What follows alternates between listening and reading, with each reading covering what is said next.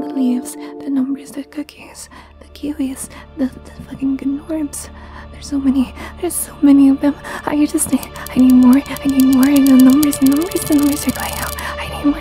I need all of them. I just need all of them. I need more. I need more. I need. I need. I need. oh, it was just a nightmare. Oh, those big numbers. Those constant waiting. Was all just a bad night. Oh, my silos are full with eggs. So, idle games. I know most people don't get the appeal of it doesn't look exactly engaging, does it? But God damn it, my notes? Um, so yeah, I like idle games with the management and strategy aspects, and the actual good idle games emphasize these aspects. I think the best way to understand it is to compare idle games as stripped down versions of other management games. Evolve Idle is an idle game where you start as a wee little organism, evolving into many different beings, such as tree ants or vampiric shroom people, eventually making a whole rudimentary civilization with the oligarchy ruling, or an autocracy if you feel like it.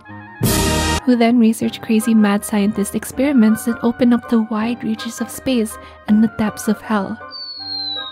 Sound familiar? Yeah, it's stripped down Spore. Joe Rogan, everybody.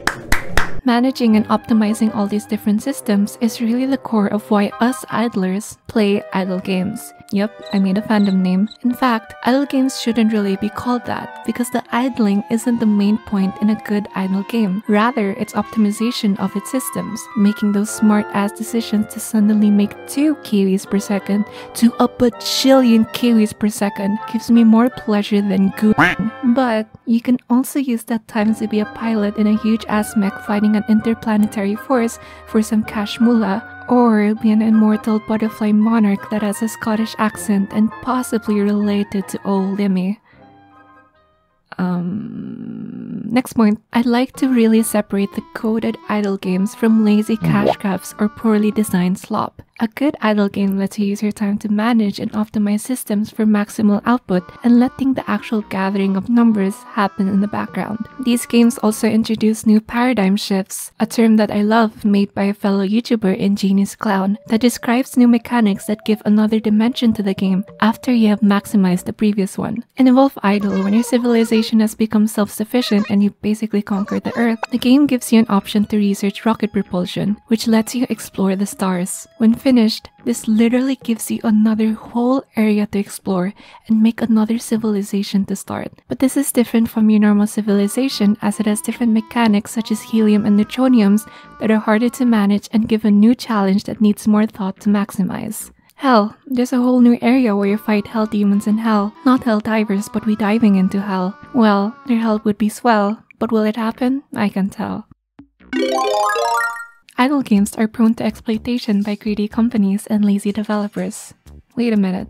I wrote that because I agree that idle games, just like mobile games, are prime for exploitation. Every game, though, can be plagued with microtransactions if they're greedy enough. But idle games are more prone due to the fact that the core design of these games have systems that are immediately annoying, such as long waiting times or constant lack of precious resources, and are easily configured to be annoying just by changing some numbers. But I will say that we shouldn't let the bad apples ruin the whole orchard or whatever. These shitty games sour the view of idle games and take attention away from the actual potential that idle games have.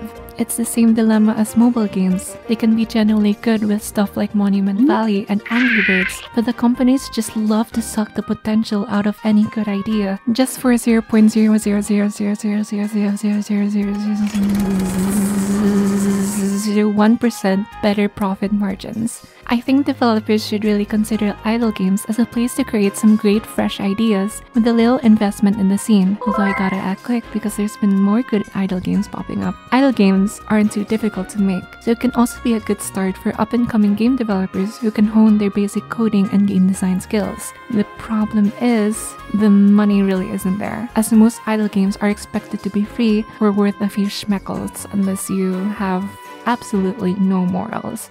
But with more eyes on the scene, I hope that there will be more profit for idle developers to get the bag that they deserve.